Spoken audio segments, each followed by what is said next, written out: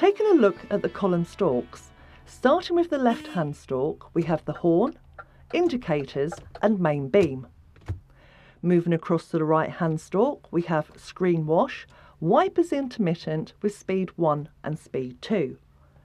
The intermittent wipe can be set to the rainfall by switching to intermittent and before it completes one wipe, turn it off. When the screen requires wiping, select intermittent again where this time interval will remain.